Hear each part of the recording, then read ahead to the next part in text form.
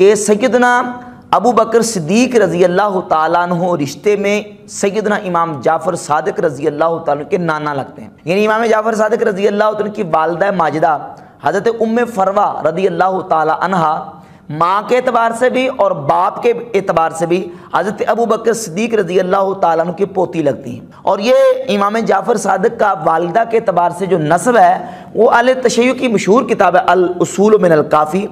الاصول من الکافی میں ابو جعفر محمد ابن یعقوب القلینی، جلد نمبر ایک، ابواب تاریخ صفحہ نمبر دو سو تینتالیس پر امام جعفر صادق رضی اللہ عنہ کا والدہ کے اعتبار سے نصب بیان کرتے ہیں کہ ان کی والدہ ام فروا ہیں، جو کہ بیٹی ہیں قاسم کی، قاسم بیٹے محمد کے اور محمد بیٹے ابو بکر صدیق کے۔ اور اسی طرح ام فروا کی والدہ اسما ہیں اسما بیٹی ہیں عبد الرحمن کی اور عبد الرحمن بیٹے ہیں ابو بکر صدیق کے۔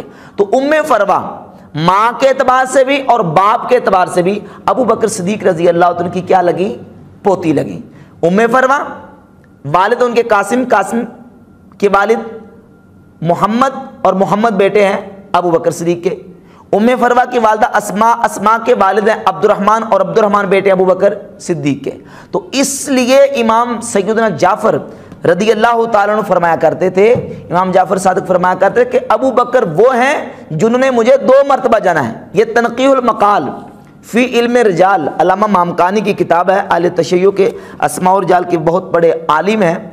یہ تنقیح المقال کی جلد نمبر تین سوا نمبر تہتر پر ام فروا بنت قاسم بن محمد بن ابی بکر کا ترجمہ ذکر کرتے ہوئے انہوں نے اس روایت کو بھی ذکر کیا کہ امام جعفر صادق رضی اللہ عنہ فرمایا کرتے تھے کہ بلادنی ابو بکر مراتین ابو بکر نے مجھے دو مرتبہ جانا ہے۔ یعنی ان کی والدہ ام فروا، وہ ماں اور باپ دونوں اعتبار سے حضرت ابو بکر صدیق رضی اللہ تعالیٰ کی پوتی لگتی تھی۔ اور سیدنا امام جعفر صادق رضی اللہ تعالیٰ اس رشتے کا کس قدر ادب اور احترام کرتے تھے۔ کس قدر ابو بکر صدیق رضی اللہ تعالیٰ کی فضیلت بیان کرتے تھے۔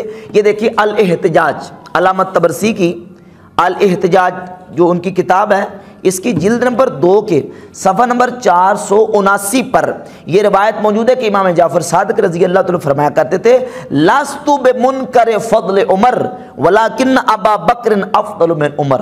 فرماتے میں حضرت عمر کی فضیلت کا منکر نہیں ہوں، لیکن لیکن ابو بکر حضرت عمر سے افضل ہے تو سیدنا صدیق اکبر رضی اللہ تعالیٰ کی فضیلت کا سیدنا امام جعفر صادق رضی اللہ تعالیٰ کس طریقے سے اقرار فرماتے ہیں؟ یہ نہج البلاغہ کی شرح ابن بالحدید کی۔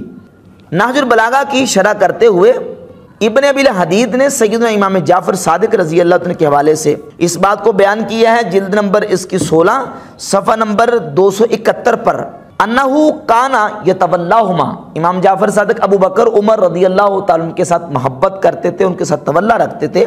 ویات القبرہ اور ان کی قبر پر جاتے فیوسلم علیہما مع تسلیم ہی اعلیٰ رسول اللہ صلی اللہ علیہ وسلم۔ اور جب آقا کائنات علیہ صلاۃ والسلام کی بارگاہ اقدس میں جا کے درود و سلام پیش کرتے تھے، سلام عرض کرتے تھے، تو حضرت ابو بکر اور حضرت عمر کو بھی جا کے سلام امام جعفر صادق رضی اللہ عنہ کیا کرتے تھے۔ اور اہل سنت کی ایک مشہور کتاب ہے تذکرت الحفاظ علامہ زابی کی۔ اس میں تو پہلی جلد کے صفحہ نمبر ایک سو چھبیس پہ یہ لکھا ہوا ہے کہ سیدنا امام جعفر صادق رضی اللہ عنہ یہ فرمایا کرتے تھے، ما ارجو من شفاعت علی کن شیئن الا وانا ارجو من شفاعت ابی بکر مثلہ. فرماتے ہیں کہ جس طرح میں حضرت علی رضی اللہ تعالی مولا کائنات سے شفاعت کا طلبگار اور امیدوار ہوں، اسی مثل میں ابو بکر صدیق رضی اللہ تعالی سے بھی شفاعت کا امیدوار ہوں۔ وہ لقد ولدنی مرتین، کیونکہ ابو بکر صدیق نے مجھے دو مرتبہ جانا ہے۔ تو یہ کتنا گہرا تعلق ہے اور کتنا ہی مضبوط تعلق ہے اہل بیت تہار علیہ مردوان کا، نبی کریم علیہ السلاۃ والسلام کے صحابہ، بالخصوص حضرت ابو بکر صدیق اور حضرت عمر فاروق رضی اللہ عنہ